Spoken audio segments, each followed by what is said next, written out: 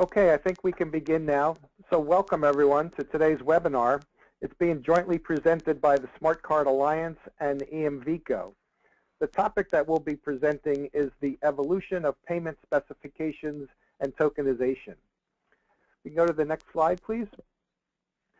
So my name is Randy Vanderhoof. I'm the Executive Director of the Smart Card Alliance and Director of the EMV Migration Forum.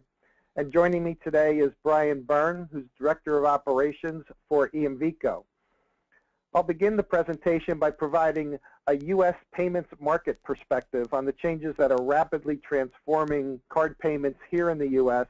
and how the U.S. market is changing to align with the global payment standards built around the EMV specifications governing payment security and tokenization, which are aptly managed with support and guidance by the global partners who make up EMVCO. I'll hand off things to Brian Byrne from EMVCO to further explain the mission, structure, and engagement efforts at EMVCO to manage the specifications and other resources to ensure that payments are secure and globally interoperable. After Brian is completed, I'll return to assist in the Q&A session that we have uh, with the time remaining. Next slide, please. So let me begin by highlighting the tremendous progress that is being made and the continued effort being put forth by all payments industry stakeholders to continue moving the adoption of chip technology here in the U.S., a market that is the largest payments market in the world and arguably the most complex, diverse, and uniquely challenging market ever to implement EMV. Today we are recognizing a significant milestone, the date for much of the market to be impacted by the U.S. EMV fraud liability shift. That began more than four years ago, and we have been nervously counting down the business days to reach this date ever since. The date marks the beginning and not the end of that journey, but for many, it also should be recognized that the Smart Card Alliance organization has been a major force in the adoption of chip technology that we are recognizing today, even long before the announcements were made by each of the payment brands to set the target date in October of 2015. Next slide, please. So how did we get to where we are today?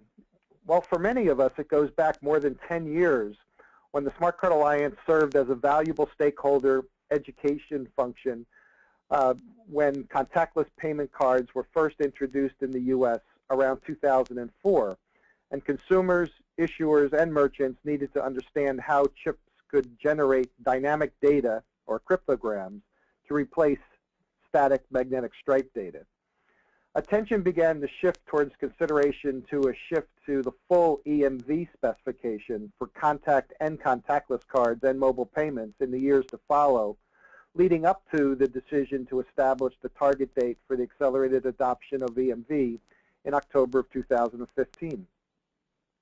When that decision became unanimously supported by the four payment brands, the Smart Card Alliance was asked to lead in the formation of a new industry forum, which became the EMV Migration Forum, as a way to address issues that require broad cooperation and coordination, and to ensure that the successful adoption of EMV-enabled cards, devices, and terminals happen in the U.S.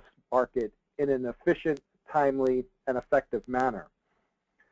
The EMV Migration Forum has grown to 175 member organizations and more than 600 individual participants from 10 major stakeholder categories, a first for any type of industry-wide collaboration among key adopters representing payment networks, issuers, merchants, processors, and supported by strong technology providers here in the United States. Next slide, please. There is much more value that can be gained from the EMV shift than increased security and reduced fraud, however. There is value for future innovations that will have a common platform and the global standards in place today and seeing that those standards continue to evolve and embrace new payments innovations. In the near term, the focus will be on security and fraud reduction from counterfeit card activity. The economic effects of data breaches on the payments industry and the impact on the confidence of consumers is no longer sustainable without making these major changes. We also need to be clear the way for future innovation. So new payments form factors like mobile and payments delivery systems like in-app payments and faster payment settlement can find fertile market conditions to grow. And that's going to require global standards to support the needed investment to achieve the scale which depends on the interoperability and trust in the standard setting process. As a result, we need a future of fewer fraud incidents for consumers and merchants and improved products and services from card issuers and acceptors. The U.S. consumers will be able to experience that confidence and sense of security when they travel outside of the United States and foreign investors come to the United States will have the same level of experience. Next slide, please. So this visual chart represents some of the significant milestones and, and uh, activities that took place over the last three years of the EMV Migration Forum. And rather than focus on all of the individual milestones, if I could just draw your attention to the far right of the screen where we're in the present day since July of 2015 until today and highlight that a lot of the activity that was focused initially around industry engagement and addressing the required uh, issues and resolutions to those issues to facilitate the U.S. adoption for EMV have been achieved, and now we are beginning to shift our focus to what's going beyond October of 2015, namely the other market segments which are still yet to reach their fraud liability shift timeline, the retail petroleum industry and the ATM markets, and more importantly, to focus more attention on market education and uh, industry education and collaboration so that the hard work that's gone into the development of the specifications and the technology and the implementation of that technology will be um, quickly adopted and become accustomed to not only for consumers but for merchants and issuers who perhaps are not part of the front line of the EMV migration that we're seeing take place today. Next slide, please. And so we've seen significant progress so far in the EMV adoption in the U.S. Recent announcements have supported that over 200 million EMV cards have been issued, which if you understand the adult market in the United States, that's about equal to the adult uh, people in the U.S. that have uh, payment cards to use in this, uh, this marketplace. Also, Visa has announced that their chip issuance in the U.S. is now larger or higher than they've issued in any other individual country around the world. Over 151 million Visa chip cards have been issued in the U.S. as of September 15, 2015. We're also estimating that about 314,000 merchant locations are now accepting EMV chip transactions, and many of the transactions that are happening today are coming from small and medium-sized businesses, the small shops that make up the vast majority of retail touch points for consumers um, are starting to adopt EMV and we're starting to see a significant amount of chip or transactions coming through those channels. More importantly, the largest retailers are reporting a significant number of chip-on-chip -chip transactions in those locations which have enabled their cards. And so we have high confidence that the chip technology that's in the market today is working efficiently and correctly and that the transactions are flowing through the system as they had been planned to do. Uh, just yesterday, the Payment Security Task Force um, uh, released some data, and they estimate about 40% of the terminals will be capable of accepting chip cards by the end of 2015 in the U.S. Next slide, please. So as I mentioned previously, the EMV Migration Forum has taken a significant role in the building the education and awareness process for the EMV migration. And with such a large market and with so many participants, it's difficult to find a single channel for how we can educate, inform, and get um, uh, stakeholders comfortable with the changes that are happening with the EMV chip technology. So we've done a number of significant efforts, both from a standpoint of, of web resources.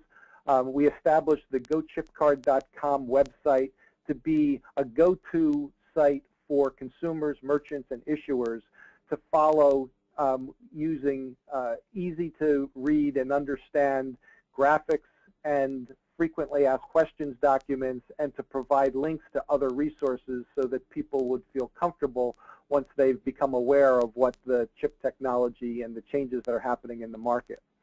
We also went through a very significant um, marketing campaign called Chip In, where we encouraged um, all industry stakeholders to um, forward and reuse many of the resources that were developed by the EMV Migration Forum to educate the market. We've produced video to provide media outlets with visual clues in terms of how the technology is evolving and make it easier for um, those media outlets to be able to produce and deliver um, sound quality messages that would be consistent across the market.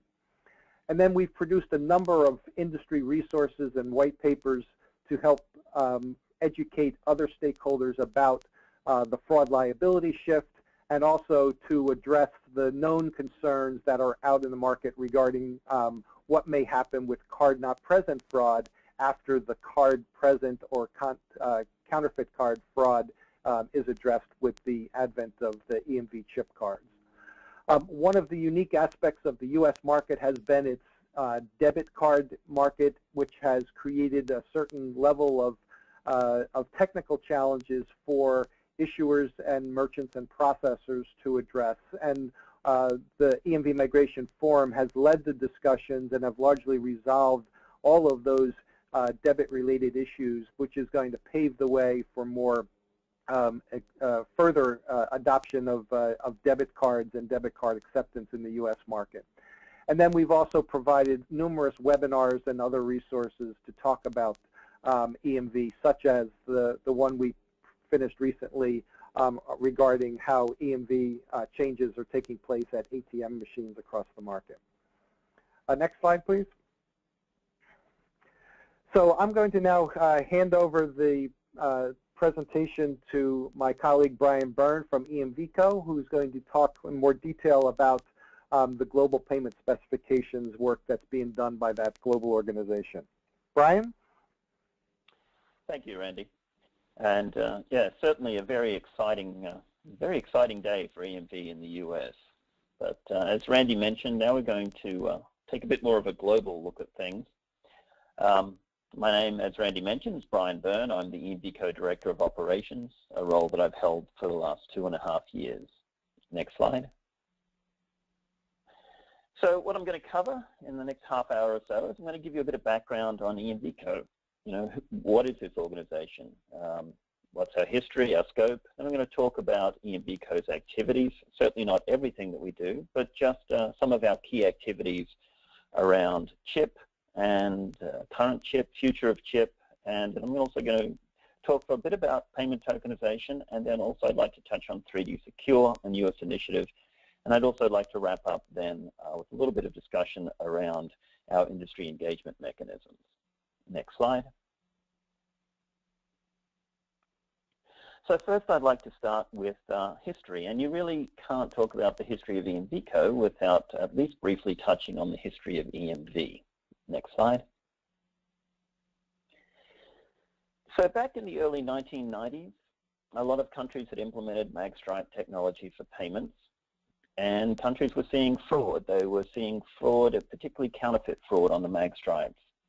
And particularly in Europe, particularly in France and the UK, uh, they decided to address this fraud by implementing chip cards uh, based on a, a new ISO standard related to chip and so the banks um, individually, or at least at a national level, got together and they created specifications on top of these ISO standards. And those specifications were the basis for their own domestic uh, chip card implementations. Now, they were very effective in driving down counterfeit fraud, but what quickly happened, particularly uh, in a region like Europe where the countries are all in very close proximity, what very quickly happened is the domestic fraud went away, but the uh, cross-border counterfeit fraud skyrocketed.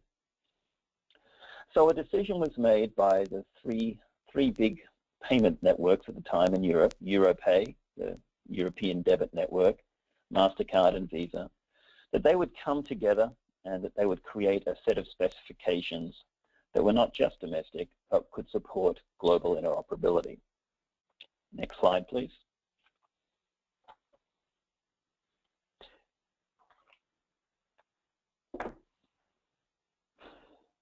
So uh, they formed the, uh, they came together and created the first EMV specification. And the EMV specification was then supported by an organization to manage its care and feeding called EMVCo. Now, EMVCo's mission today is to facilitate the worldwide interoperability and acceptance of secure payment transactions by managing and evolving the EMV specs and their related testing procedures. So originally when EMVCo was formed, the word chip was in there to facilitate the worldwide interoperability and acceptance of secure chip payment transactions. But we've gone beyond that and EMVCo scope has expanded considerably, particularly in the last few years. Next slide, please. So while uh, contact chip is certainly the, the heart of what EMVCo did, this gives you a flavor for how we evolved over the years.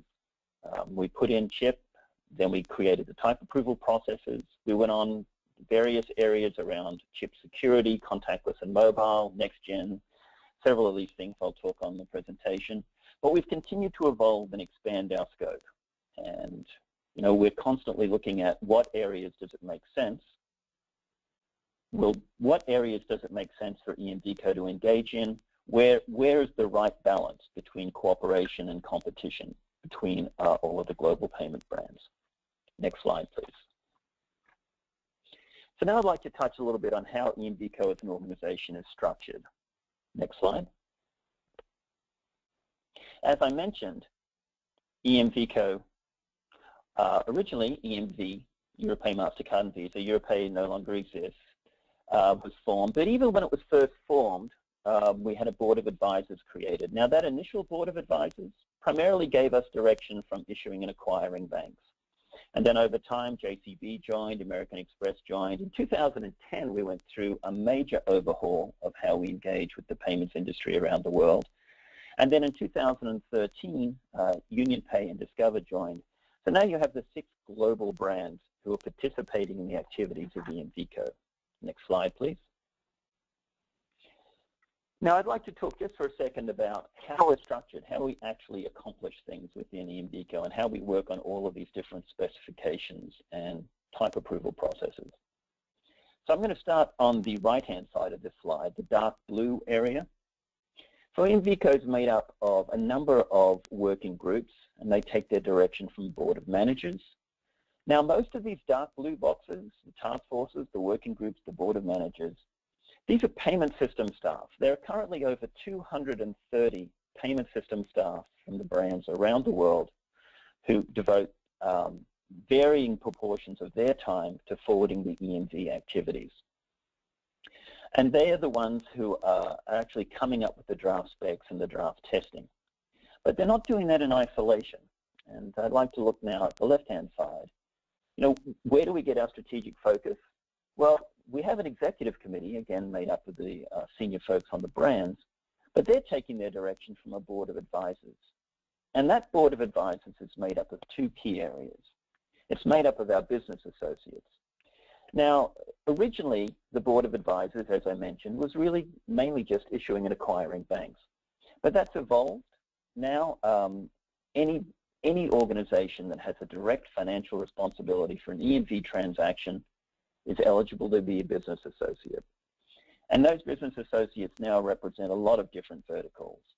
We uh, have participation from major merchants around the world and from transaction processors and from a lot of their representative bodies. So now we're touching on all of the elements of the EMV transaction lifecycle. But we also have elected technical associates. And the distinction between business and technical associates, well, the first distinction is any organization can become a technical associate. It, there's no um, criteria. You just have to have an active interest in EMV transactions and the EMV specifications. But those technical associates not only participate, there are some elected onto our board of advisors, but they're also very heavily engaged in the work that our working groups do and our task forces. So um, I'd like to summarize the distinction is the business associates and the board of advisors, they're providing us direction on what EMVCO should be doing, and the technical associates are providing us direction and input on how we should be doing it, both critical. And of course, we have our subscriber community. I'm sure some of you on the call today are either in the associate organizations or subscribers, but our subscribers are individuals or companies who like to stay plugged into what EMVCO is doing. We meet with them face-to-face -face every year. We give them advance notification on specifications. And we like to engage uh, at a broad level with the subscriber community through um, our query and website uh, materials. Next slide, please. So what I'd like to discuss now for a second is just to clarify a bit of confusion between the roles of EMVCO and the payment systems. So yes, EMVCO is owned by the global brands, but we have a very defined remit and it, it's legally defined for a number of very important reasons. You know, this is an environment where these competitors can get together and they focus on managing and evolving the specs, how to test against those specs, elements related to security, and how to keep evolving payments for the future. Now that's distinctly different from either the global, the regional, or the domestic payment systems because they're the ones who are saying, okay, these are the sort of products we want developed based on the specs. This is the sort of EMV roadmap we want for our company or our country, depending on the organization. When it comes down to pricing and interchange, all of those decisions are very distinctly not part of EMVCO's role. And even today, a momentous day in the US, the fraud liability shift policy, all of those policy decisions, I can guarantee you those discussions are not happening uh, at a joint table with within EMVCO. Next slide, please. So there's a bit of background on our structure and who we are. Now I'd like to talk briefly about some of our key activities. Next slide, please. The first area I'm going to touch on is chip, contact and contactless chip, whether it's in cards or whether it's in mobile phones. Next slide, please. So our core specification is the EMV 4.3 contact chip specification. And this spec provides the blueprint or the toolbox for chip cards and their insertion into chip readers. And we're talking about uh, a transaction time of a couple of seconds. Next slide, please. So there's a point uh, that I like to make uh, on this topic. Uh, I speak at a lot of conferences. Occasionally, uh, the question comes up, well, you know, isn't the EMV specification 20 years old? why, why would a country like the US, for example, who's just moving to EMV, why would we be adopting an old solution? And it is true that the original version of the spec is 20 years old, but that's not the spec that we use anymore. Uh, 4.3 is only a few years old, but not only is it only a few years old, we're constantly managing and maintaining the specification, responding to queries, putting out update bulletins. So in fact, at any given time, the EMV specification that's being implemented today is probably no more than a couple of months old. Next slide, please. So in the contactless space, the EMV key specification here is EMV contactless 2.5. And now we're talking about transactions where you're tapping. You're still using the same strong EMV cryptography, but you're tapping originally a card, and transaction time is very fast, uh, under 500 milliseconds. But now, of course, we've moved on beyond cards, stickers, fobs, watches, and of course, uh, the big one, uh, mobile phones. Next slide, please. So one of the things we found when EMVCO was first formed is, okay, we put out specifications, that's great, everyone has the specs, so they're going to build products to those specs, and we're going to have global interoperability, and that's great. Well, it's not exactly how it worked out what we found very quickly that specs without some form of testing and type approval don't deliver the global interoperability that we all want and need. Next slide, please. So EMV does some key testing approval work. Uh, on the terminal side, we do both level one and level two testing.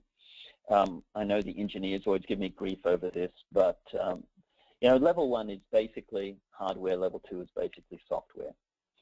So we test test the terminals, we test them for level one and level two compliance. Now on the card or the mobile handset approval, uh, we're again, we're testing the functional elements. We're checking the electromagnetic elements. Uh, we do have a we do have a, a, small effort that we have for the common payment application, but primarily our efforts here in the card and mobile handset type approval are related to level one. Um, and we're also very excited that uh, in 2016 we're moving into into testing for level one on mobile handsets. This is something that was previously done by the payment systems um, and is moving into uh, EMVCo. You know, as, as with other things, it makes a lot more sense to have testing done jointly if the payment systems are basically testing for the same things. And the other area of testing and approval that we do is critically important is determining whether the chips or the chip platforms are secure. And in this case, we want to make sure that the chips that are being used for EMV, you know, whether they're in phones, whether they're in cards, are they chips that we know that are designed to protect against known attacks? Next slide, please.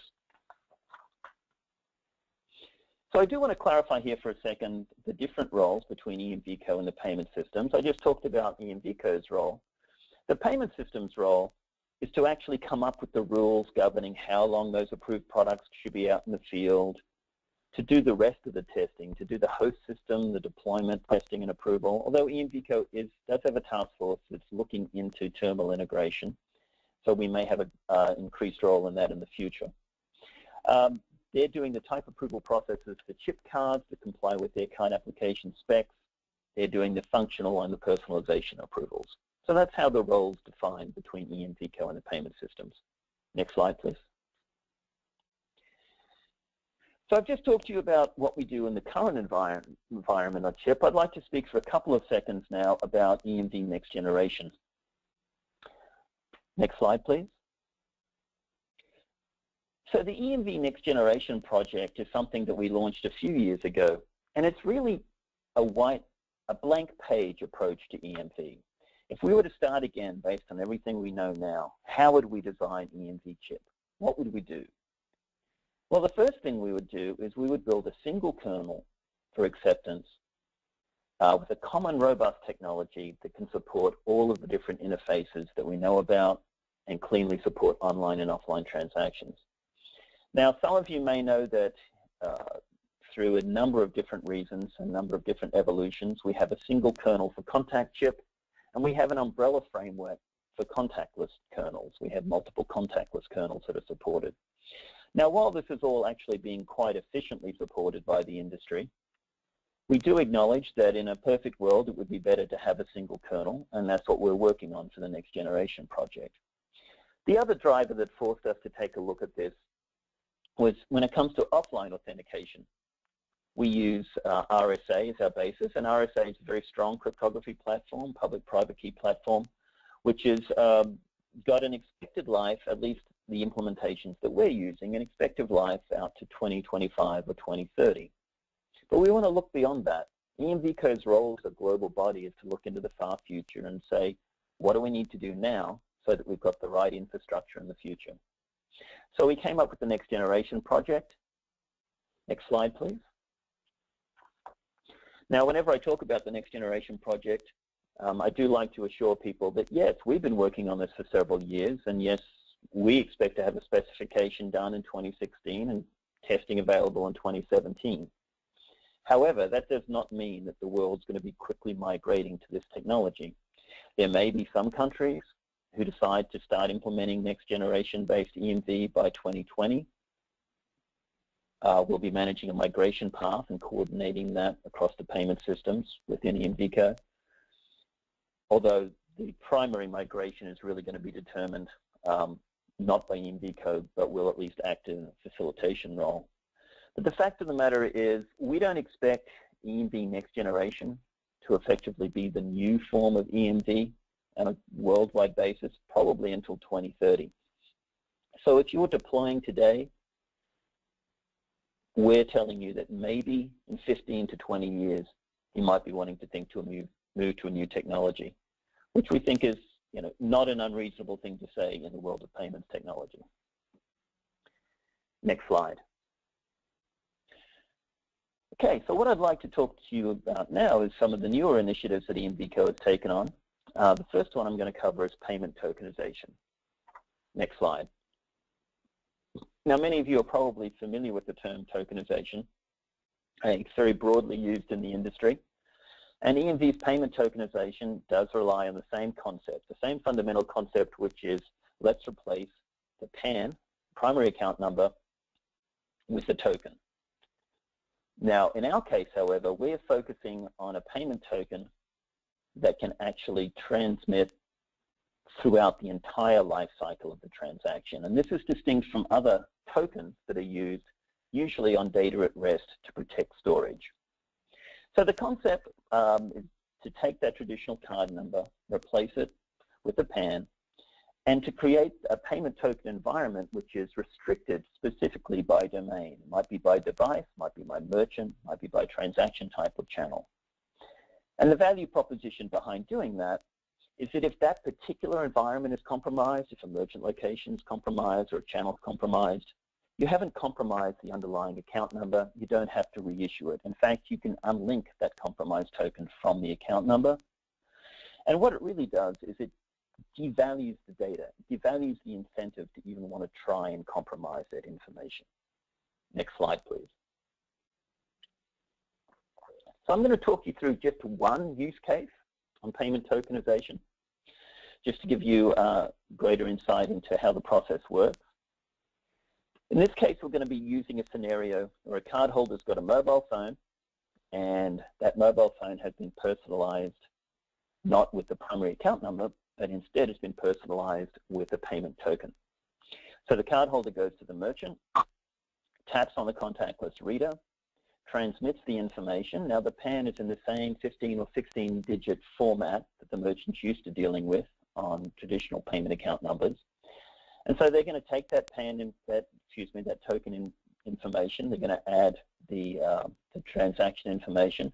They're going to send that payment token over to their acquirer. The acquirer is going to forward that information onto a token service provider.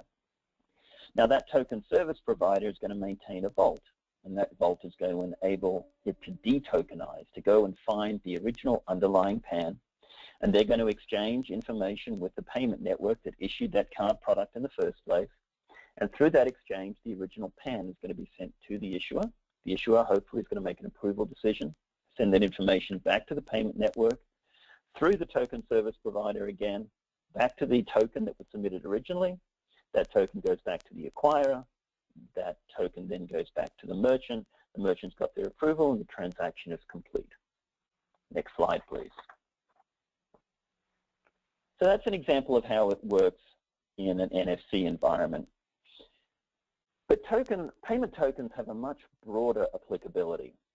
Payment tokens are going to be able to be used for card on file merchants to devalue the data that's stored there. They're going to be able to be used in digital wallets. So when you're doing electronic commerce transactions, you're going to be sending payment payment tokens through instead of original PANs. They've got applicability to QR and barcode solutions, and further down the track, we're even looking at the possibility of, you know, what's the value concept of putting instead of the live pan on the chip, perhaps a token. But that's certainly not the highest priority. We're, we're going after the bigger areas of risk first. Next slide, please. So I've touched very briefly on this topic. I would like to encourage all of you, if you have an active interest in EMVCo's work on payment tokenization, to join us our next webinar on November 4th where we're going to be spending the whole hour talking about tokenization. This is another joint webinar with the SCA. Um, the SCA is going to be talking about tokenization in general, and we're going to be doing a deep dive into our payment tokenization work. But I do want to give you some updates on where we are. Um, initially, EMVCo had planned on releasing the second version of the specification uh, towards the end of this year. But we've had so much industry engagement, so much feedback, so much request for clarification, so much request for consideration of additional use cases, uh, which is all great. Fantastic we've got this high level of industry engagement, but it means that we're going to need time to absorb and respond and reflect that in the next version of the specification. So we're now looking probably at second quarter of 2016 before we'll be releasing the next version of the specification. Now with that said, however, there are a couple of areas that we are moving on in 2015. The concept of a payment account reference. And a payment account reference, again, could be a long, a long discussion in its own right, but quite simply, it's a concept of saying, okay, if there are multiple payment tokens across multiple domains and channels, is there a way for me to tie that back to the consumer without exposing financial information? And yes, there is. There is a way to do that, and it's called a payment account reference. We've already put out a draft specification and hope to have that finalized this year. And the other thing that we'll be releasing this year is the processes for um, multiple organizations to register as token service providers. Next slide, please. So the next area I'd like to talk about is 3D Secure. So next slide, please. If you're not familiar with 3D Secure, uh, the 3D stands for three domains, the merchant acquirer domain, the interoperability domain, and issuer domain. Now the concept behind 3D Secure is in an electronic commerce environment where the card holder is not present, they're not there face-to-face -face with the merchant, is there a way that we can more robustly authenticate the cardholder who's doing the transaction? So the concept behind 3D Secure is that the cardholder has a direct and secure communication channel with the card issuer. The card issuer authenticates the identity of the cardholder, and that authentication becomes part of the transaction record and is applied by the different payment systems in terms of providing additional rights and protections to the merchant. So the concept is very robust. Unfortunately, the implementation has been problematic. Next slide, please. So today the 3DS specification is maintained by Visa. Uh, they're the owners of 1.0, and the decision was made that EMVCo would be the appropriate body to take on the overhaul, the revision of the 3DS specification to come up with 2.0. Now, while we're still going to have implementations of this specification by the payment systems, you might know the implementations by such names as VBV or Secure Code or SafeKey, it's going to be EMVCo who's writing the underlying protocol that's used to create those programs. So why are we working on this? What's the need to do this? Well, the key need is, firstly, 3DS currently only is supported in browser environments. And depending on which research you read or which study you look at, 25% of the electronic commerce transactions are now initiated on mobile phones. So we need a solution that works with apps, not just a solution that works with your web browser. The next thing, the next thing we need is uh, better integration with the merchant's offering. And one of the challenges we had with the initial implementation of 3DS is every transaction effectively is somewhat interrupted for a challenge response. And you know, this has led, unfortunately, to transaction abandonment. And um, we're looking to create a smoother integration so that we can minimize that problem. And one of the ways we want to minimize that problem is to reduce the friction. And the friction we're talking about is the need for this interaction. So we're looking at a better environment in, the, in 3DS 2.0 so that we can actually minimize the number of times that the cardholder is actually challenged and yet still have this process running as much as possible transparently in the background. So if, uh, next slide please. Okay. So I've talked about a couple of these things, the need for supporting multiple platforms, the need for um, intelligent risk-based decisioning is a way that we hope that we can reduce the friction. Let's use the tools we have out there to minimize, perhaps by 70 or 80%, the number of times there even needs to be a challenge response. The other thing that we're very interested in is looking at payment tokenization and looking at 3DS and looking at the possible applicability for identification and verification. Now, some of you may have heard that uh, when one of the releases using payment tokenization and mobile phones went out, there was an initial spike in fraud. And investigation showed that there was nothing wrong with the underlying technology, but there were some issues with not appropriate mechanisms being used to identify the holder of the card before it was personalized under the phone. So we're already looking at EMV as to how can we use 3DS as a complementary process? How can we make it a part of a more robust ID and V process in the personalization of the phones? And the last thing that we hope to obtain from the new specification or plan to obtain is to make sure that we make it more flexible to deal with country-specific and regulatory requirements around the world. Next slide, please. So within 3D Secure, um, what's our focus? Well, as I've mentioned, key focus is going to be, you know, let's get a solution that works for mobile phone apps. And then, of course, we want to focus on challenge response, um, we want to look at ID and V. What's our timeline? Um, actively engaged with the industry right now, talking heavily to our associates primarily on uh, the draft specifications, the business requirements. In 2016, our goal is to publish the uh, specification, uh, get the testing and approval processes underway.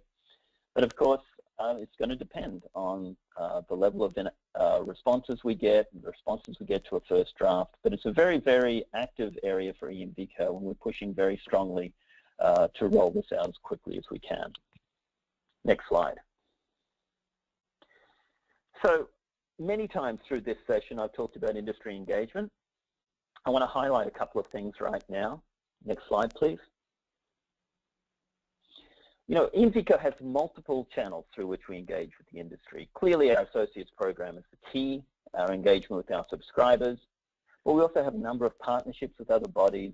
We do a lot of speaking engagements around the world, panels, seminars, webinars like this, uh, and particularly a lot of information sharing on our website, a lot of information that's available the, to the public. Uh, we do press releases, we have a LinkedIn presence. Please connect with us there if you want to stay updated on what we're doing. Um, clearly, of course, we're issuing specifications, and uh, we have uh, white papers on different topics. And so basically, we are actively engaged across multiple touch points with the industry. Next slide, please.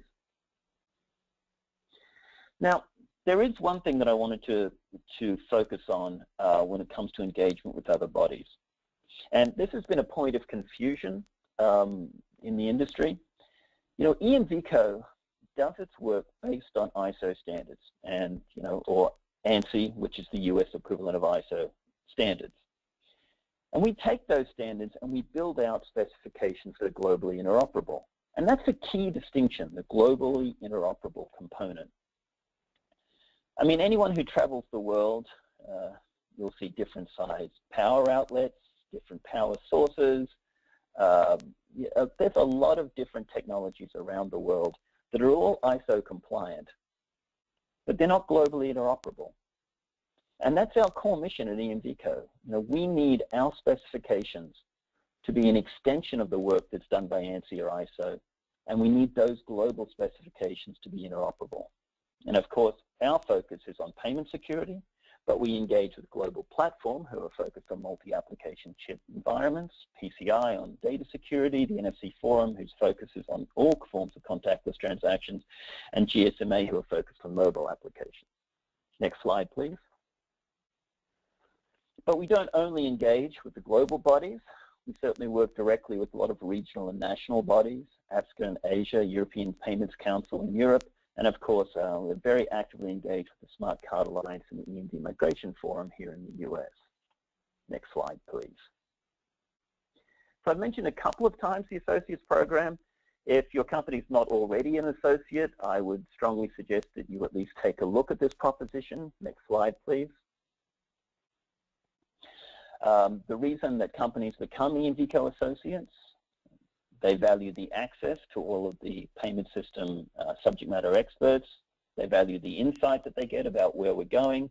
They certainly value their ability to influence our future specifications and testing. And of course, they appreciate the foresight as to what's coming in the next sometimes five to 10 years, sometimes three to six months. Next slide, please.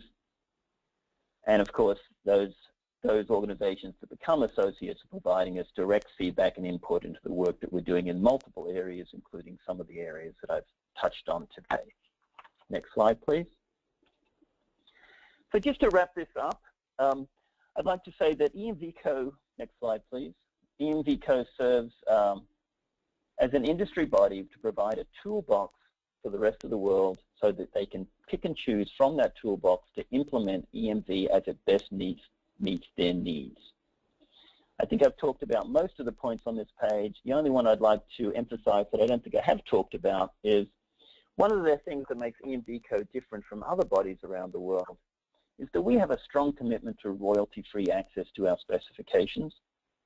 And that means that if you're building payment or acceptance products based on our specifications, you can do so safe in the knowledge that no one's going to come back to you after the fact and say, well, um, you know, great, you've rolled out millions of these devices, you owe me 20 cents a device, or you owe me $2 a terminal.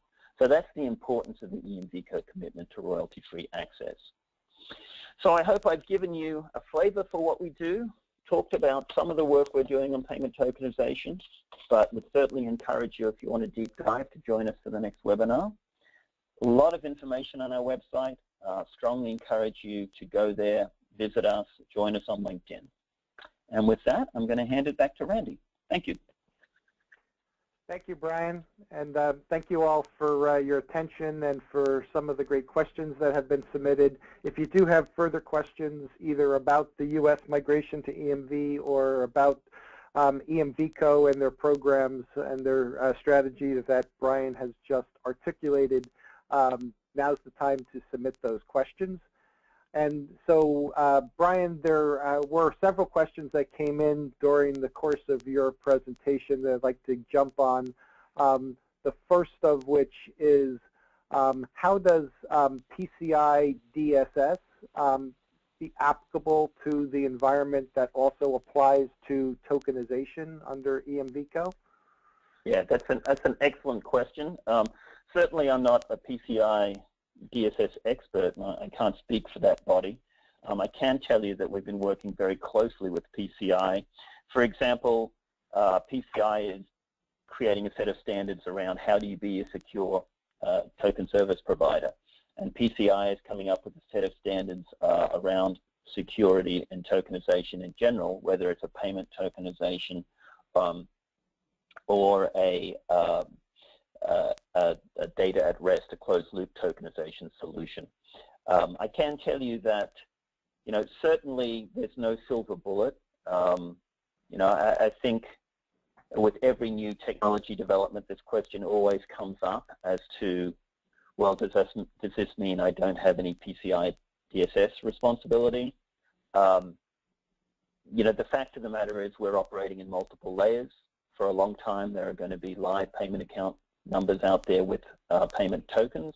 There are going to be uh, uh, chip transactions out there with magstripe transactions. So you know, as long as as long as it is possible to take magstripe data, compromise it, um, I think there will continue to be a role for PCI DSS. Thanks, Brian. Another question. Um, you talked a little bit about uh, EMVCo's outreach to other standards bodies. Um, so what role um, does EMVCo have compared to the role of ANSI in the specifications around payment tokenization? Yeah, sure. An excellent question. So, I mean, for those who aren't clear, ANSI is effectively the US body that, uh, that then liaises and takes its material to ISO, which is the global body. And uh, our experience has been that um, we do our best to work with ISO standards, and and in this case, ANSI is effectively a subset of that work effort. But as I mentioned earlier, our specification work has to be globally interoperable. Um, our experience with ANSI and then its interaction with ISO has been that you know, they will develop work. We will leverage it wherever we can. In fact, there are a lot of payment system staff who participate both in EMVCo and on ANSI and in ISO. So we have a heavy overlap and engagement between the two bodies. But our role is always going to be to take standards and turn them into globally interoperable specifications. So we don't see ourselves competing, we see ourselves building upon that work. And one of the newer issues that have come up has to do with the use of biometrics in the payments industry. Um, will EMVCo standardize biometrics usage in payments through 3D Secure 2.0? Um, excellent question. Uh, the answer is I'm not sure yet. Um, you know, when I started off the presentation, I talked about the fact that EMVCo is constantly evaluating areas where it makes it makes sense for us to be involved. I mean, there's a constant there's a constant balance that, we try and maintain between areas where it's in the best interests of, interests of the payments ecosystem to compete and areas where it's in the best interests of the payments system to actually cooperate on underlying standards and specifications. Um, we are already engaged with FIDO. We're talking to them. Uh, we're certainly looking at the area of um, biometrics, um, but it's not uh, it's not something that's formally on our roadmap yet. Thanks. And I'd like to take this question, which is about the U.S. EMV migration. And um, someone um, asked if I could comment on the progress that's been made with regard to um, merchants enabling their businesses for EMV. And, and the question came in, um, do we have an accurate uh, count on the number of uh, merchant terminals that are enabled or will be enabled today, uh, being the, the date of the liability shift? Um, we, we don't have really strong data available to us. We have certainly heard very encouraging reports um, just yesterday from Visa in their press release and from the announcement made by the Payment Security Task Force in terms of over 300,000 merchant terminals and expectations in terms of uh, the number of merchants that are going to be enabled by the end of the year. I just want to point out to everybody that um, we don't consider October 1 to be um, a significant date other than it is the milestone for when uh, merchants and issuers were expected to be ready. And we're very encouraged by the reports that consumers have received their chip cards at both large and small businesses have become enabled to accept them. I think it's noteworthy to re realize that um, the, the largest issuers of the payment cards have issued their cards to their highest volume and highest transaction value customers first and so even if there is um, um, less than uh, a full uh, conversion of the chip cards in the market today, I think the transaction volumes of chip-on-chip -chip transactions are going to be significant because the people that use their cards most frequently um, in locations which they shop in most often are going to be the ones that are going to see um, the most uh, opportunities to use those cards. And so we expect that migration to continue over the next few months and into 2016. And we see this as a long-term process um, moving forward uh, towards making the entire payments industry more secure. And we have time for one more question here. And uh, Brian, this one's back to you. Um, um, it had to do with the, the discussion around um, uh, tokenization and um, a question about what is the role of tokenization in the advancement of the 3D Secure 2.0 specifications. Okay. Um, certainly we see them as complementary, um, and I, I, hope I touched on this a little bit as well. Um, you know, we see that the personalization of a token onto a phone or the personalization of a token into a digital wallet uh, is a key step that needs to be supported by very robust identification and verification. So we see a direct connection between um, using the 3DS protocol uh, as a means for solidly identifying the cardholder before they do that uh, before they do that initial personalization, uh, protecting and making sure that the right payment token is going into the card. Um, you know, I can tell you that we are literally writing the 3DS 2.0 spec now. So unfortunately, I can't give you a more definitive answer, but I can tell you that the two groups are working very, very closely together. Um, I think I'd like to emphasize again that um, we don't see these as competing technologies. We see them as complementary technologies. Um, you know, in, when maintaining payment security, you're constantly looking at multiple options, multiple tools,